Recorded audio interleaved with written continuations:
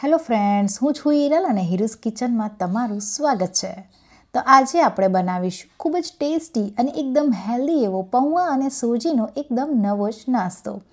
તો ફ્રેન્ડ્સ, ગરમી ધીમે ધીમે વધવા લાગી છે અને તમે ઓછા તેલવાળું ખાવાનું પસંદ કરતા હોય ને તો આ રેસીપી ખાસ તમારા માટે જ છે અને આ નાસ્તો ખૂબ જ ટેસ્ટી લાગે છે. તો ચાલો બનાવવાનું શરૂ કરીએ.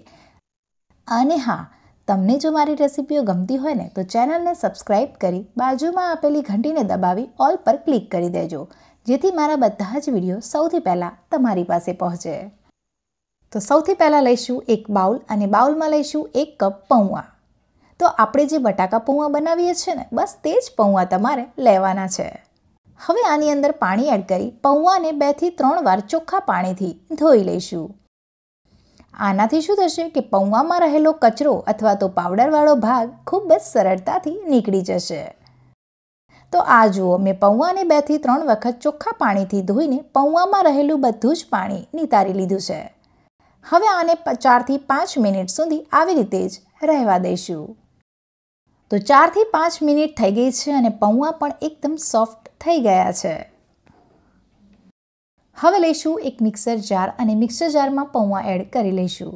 તો મેં અહીંયા મિક્સર જાર નાની સાઇઝનું લીધું છે, પણ હું તો તમને કહું છું કે તમારે મિક્સર જાર થોડી મોટી સાઇઝનું જ લેવાનું. સાથે જ એડ કરીશું એક કપ સોજી. તો સોજી તમારી પાસે જે અવેલેબલ હોય તે સોજી તમે લઈ શકો છો. એટલે કે સોજી બે પ્રકારની હોય છે. સોજી થોડી મોટા દાણાવાળી પણ હોય છે અને એકદમ ઝીણા દાણાવાળી પણ હોય છે. સાથે જ એડ કરીશું અડધા કપ જેટલું દહીં.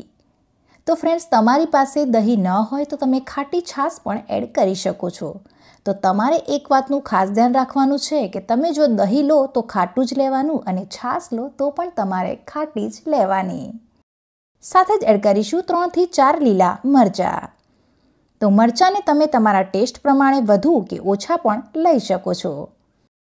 સાથે જ એડ કરીશું એક ઇંચ આદુનો ટુકડો, જેને મેં ઝીણું કટ કરીને લીધું છે. સાથે એડ કરીશું થોડું પાણી. તો પાણી તમારે એકસાથે વધારે એડ નથી કરી દેવાનું. જેમ જરૂર લાગે તે રીતે તમારે પાણી એડ કરી ક્રશ કરી લેવાનું છે. હવે મિક્સર ચાનું ઢાંકણ બંધ કરી આ બધી જ વસ્તુને સારી રીતે ક્રશ કરી બેટર તૈયાર કરી લઈશું. તો આ જુઓ તમારે આ રીતનું બેટર તૈયાર કરી લેવાનું છે. એટલે કે બેટર વધારે પડતું ઢીલું પણ ન હોવું જોઈએ અને વધારે પડતું ઘટ પણ ન હોવું જોઈએ. હવે ફરીથી લઈશું એક બાઉલ અને તૈયાર કરેલા બેટરને બાઉલમાં એડ કરી લઈશું. તો તમે જોઈ શકો છો કે તમારે આ રીતનું બેટર તૈયાર કરી લેવાનું છે. અને જો બેટર વધારે પડતું ઢીલું હશે ને, તો આ નાસ્તો ટેસ્ટમાં સારો નહીં બને અને તમને ખાવામાં પણ બિલકુલ મજા નહીં આવે. એટલે કે બેટર તમારું એકદમ પરફેક્ટ જ હોવું જોઈએ. સાથે જ એડ કરીશું સ્વાદ અનુસાર મીઠું. સાથે જ એડ કરીશું એક ચમચી કાળા મરીનો પાવડર. સાથે જ એડ કરીશું અડધી ચમચી ચીલી ફ્લેક્સ આનાથી આ નાસ્તો દેખાવની સાથે સાથે ખાવામાં પણ ખૂબ જ ટેસ્ટી લાગે છે. હવે આ બધી જ વસ્તુને બરાબર મિક્સ કરી લઈશું. તો આ બેટરને તમારે બરાબર એકથી બે મિનિટ સુધી સતત આ રીતે મિક્સ કરી લેવાનું છે. તો એકથી બે મિનિટ થઈ ગઈ છે અને તમે જોયું ને, બેટર પણ એકદમ પરફેક્ટ બનીને તૈયાર થઈ ગયું છે. હવે બેટરને સાઈડમાં મૂકી બીજી તૈયારી કરી લઈએ. હવે લઈશું આ રીતની એક થાળી, તો તમે કોઈ પણ આ રીતની થાળી લઈ શકો છો. હવે આ થાળીમાં થોડું તેલ લઈ એક પીછીની મદદથી તેલ લગાવી લઈશું. તો તમારી પાસે પીછી ન હોય તો તમે આંગળીઓની મદદથી પણ લગાવી શકો છો. હવે તૈયાર કરેલા બેટરની અંદર એડ કરીશું અડધી ચમચીથી પણ થોડો ઓછો ખાવાનો સોડા. તો ફ્રેન્ડ્સ તમારી પાસે ખાવાનો સોડા ન હોય ને, તો તમે એક ચમચી ઈનો પણ એડ કરી શકો છો. હવે આની ઉપરથી થોડું પાણી એડ કરી બેટરની સાથે બરાબર મિક્સ કરી લઈશું.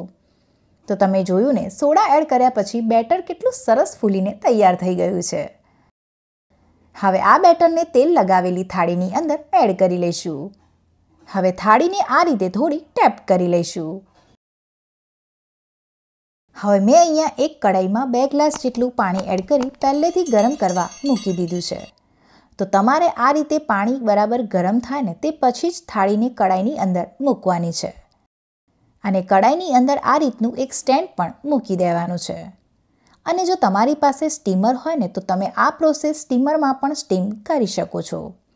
હવે આને લો ટુ મીડિયમ ફ્લેમ પર ઢાંકીને દસથી બાર મિનિટ સુધી સ્ટીમ કરી લઈશું. તો આ જુઓ, દસથી બાર મિનિટ થઈ ગઈ છે અને ચેક કરી લઈએ કે નાસ્તો આપણો રેડી થઈ ગયો છે કે નહીં. તો આને ચેક કરવા માટે આ રીતની એક સળી કે પછી ચપ્પુ લઈ અંદર એડ કરીને ચેક કરી લઈશું. જો સળી કે ચપ્પુ આ રીતે એકદમ ક્લીન બહાર નીકળે ને, તો તમારે સમજવાનું કે આ નાસ્તો એકદમ પરફેક્ટ રીતે સ્ટીમ થઈ ગયો છે. હવે ગેસની ફ્લેમ કરીશું બંધ અને હવે આ નાસ્તાને ઠંડો થવા દઈશું. તો નાસ્તો ઠંડો થઈ ગયો છે અને હવે આને એક ચપ્પાની મદદથી કટ કરી લઈશું.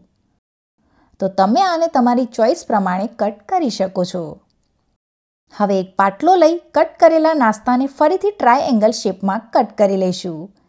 આનાથી આ નાસ્તો ખાવાની સાથે સાથે દેખાવમાં પણ ખૂબ જ સરસ લાગે છે. હવે આ નાસ્તાને વધારે ટેસ્ટી બનાવવા માટે વઘાર કરી લઈએ. હવે લઈશું એક પેન અને પેનમાં મેં પહેલેથી થોડું તેલ લઈ લીધું છે. હવે તેલને બરાબર ગરમ થવા દઈશું. તો તેલ ગરમ થઈ ગયું છે, હવે ગેસની ફ્લેમ સ્લો કરી લઈશું. હવે એડ કરીશું અડધી ચમચી રાઈ. તો રાઈ આ રીતે ફૂટવા લાગે તે પછી એડ કરીશું અડધી ચમચી જીરું. સાથે જ એડ કરીશું એક ચમચી સફેદ તલ.